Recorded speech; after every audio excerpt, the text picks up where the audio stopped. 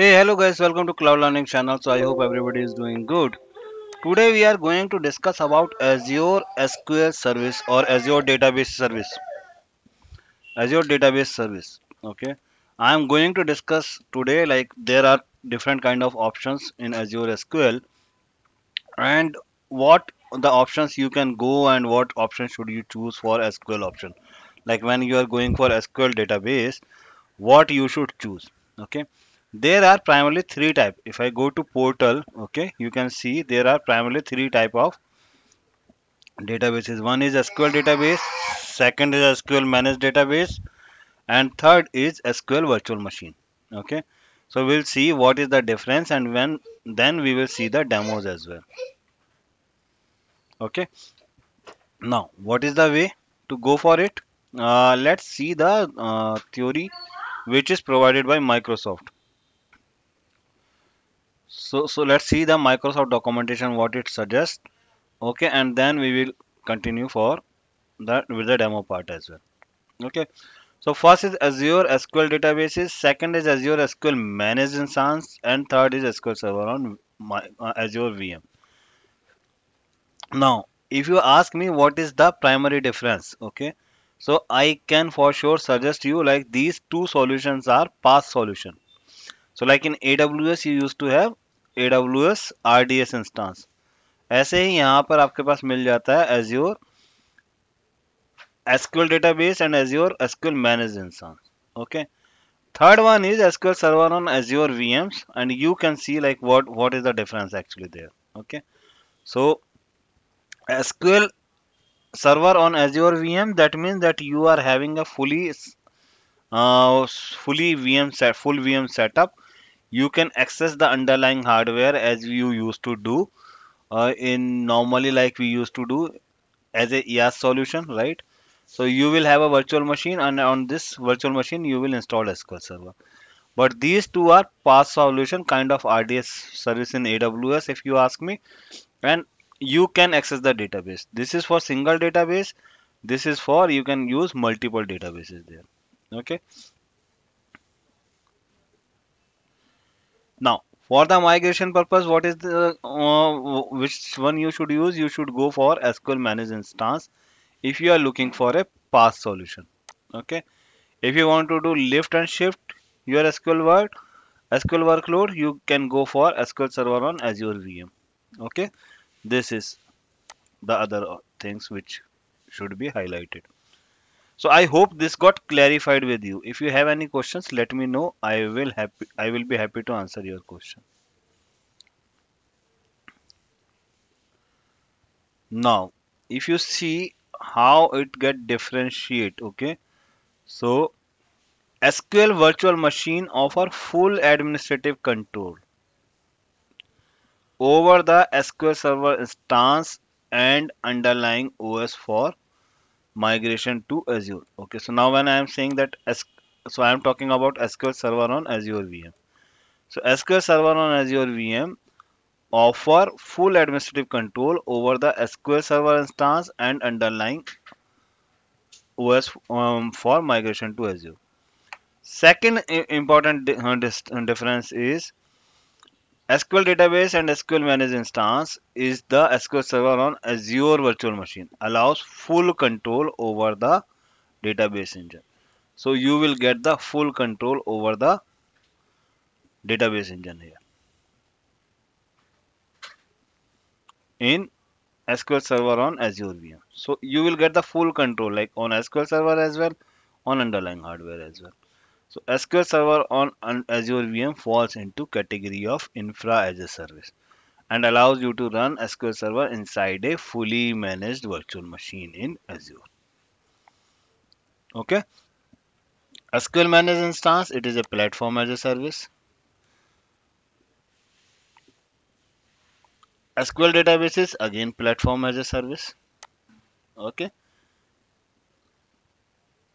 Now here a single database can be done here you can create multiple databases. So that kind of difference you can find out otherwise underlying hardware access will not be there. Now you have elastic pool as well so you can create elastic pool as well okay for high availability so that is also available there. So hope you get some good idea and uh, further if you have any questions let me check if anything else we should manage yes. So this is the comparison table table. Okay so azure sql databases support most on-premise database level compatibility. The most commonly used sql server features are availability 99.995% availability guaranteed but in built-in backups patching recovery latest stable database engine version ability to assign necessary resources to individual databases, built-in advanced intelligence and security, online challenge of resources, change of resources. Okay, so you can get all the control on databases part. For the purpose of migration, migration from SQL Server might be challenging. Some SQL features are not available. Configure maintenance window compatibility with the SQL Server version can be achieved only using database compatibility levels okay? So compatibility issues can come on this one and private ip addresses support with azure private links. Database size could be up to 100 terabyte okay? On-premise application can access data in azure sql database. Okay? So the thing is like if you are going for migration go for this one. If you are going for database go for this one. Okay. Now supports almost all on premise instance level. Here most of the features. Here all almost all of the on premise instance level and database level capabilities. Having compatibility with 99.99% guaranteed. Again like built-in backup patching recovery because it is a patch solution so again it is kind of same private ip addresses within azure virtual network. So you will get the private ip address as well.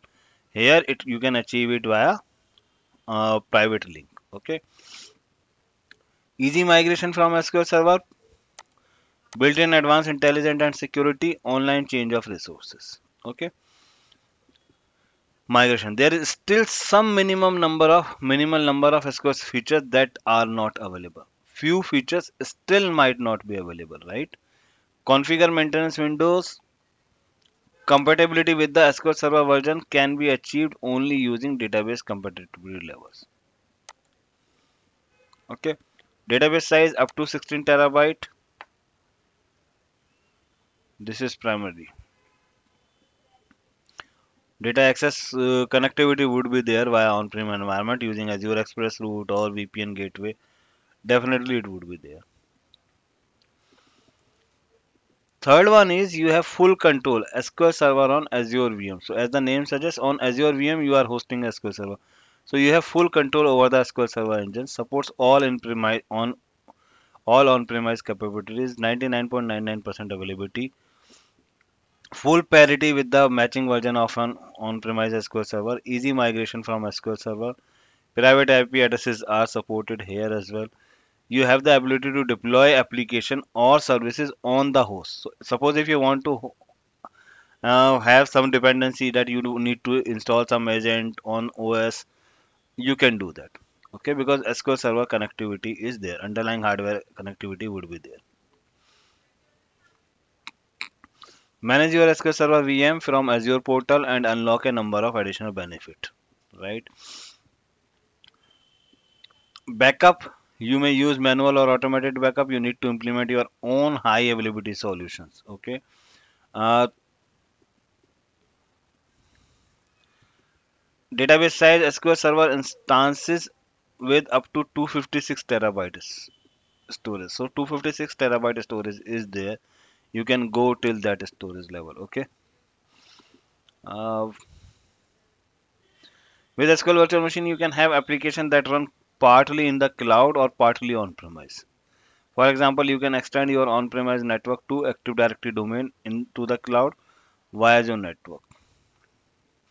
So i hope this part now become quite clear because this is used to be most challenging thing. What you can do on these one when you should use on this one and when you should use this one. The best thing would be that let's see the practically how it works. So in this part we cover almost all the things related to SQL databases options. And